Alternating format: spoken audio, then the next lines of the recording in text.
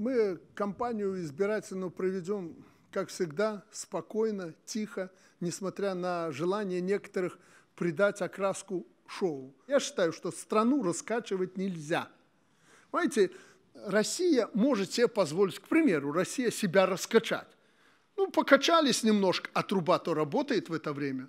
И природный газ качают на экспорт, и нефть качают на экспорт, и золото и так далее. У нас есть столько нефти и природный газ и золота. У нас нет, поэтому нам не надо раскачиваться – не надо нам качать с сторону в сторону самих себя и других. Нам надо делом заниматься, потому что если мы будем качаться год, то следующих 2-3 года будут потеряны.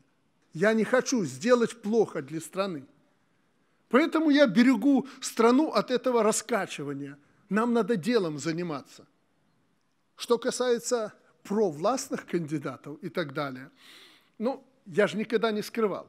Есть люди, которых власть поддерживает. Парламент – это высший законодательный и представительский орган власти. И вот представительские функции, вот эти слои должны быть представлены в парламенте. Молодежь, средняя, 40-50 лет, старики – это срез, это слои нашего общества, так? Так.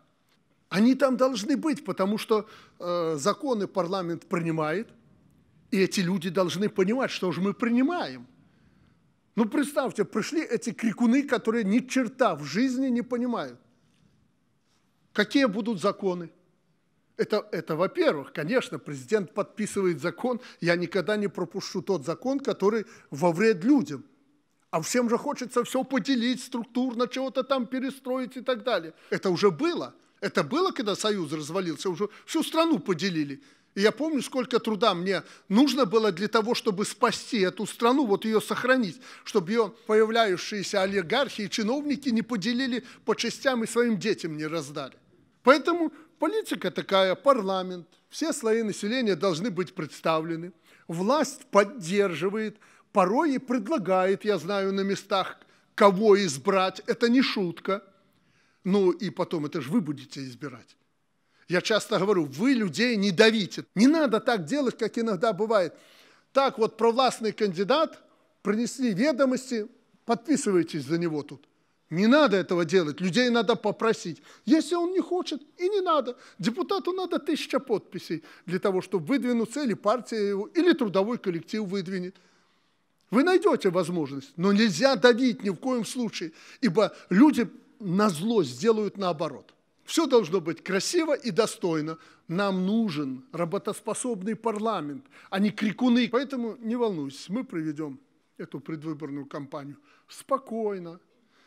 Я же вам сказал, эта предвыборная кампания – это репетиция завтрашней кампании, президентской. Вот там нам подкинут перцу. А мы должны мозги в руки взять и спокойно, как всегда белорусы это делали, сделать так, как нужно нам а не тем кому-то там на западе, на востоке, на юге или на севере. Мы для своей страны должны делать все, чтобы она сохранилась и чтобы вы, ну, хотя более-менее нормально жили. И не только вы, дети, чтобы знали, что кусок земли у них будет, и никто их плеткой стягать больше не будет.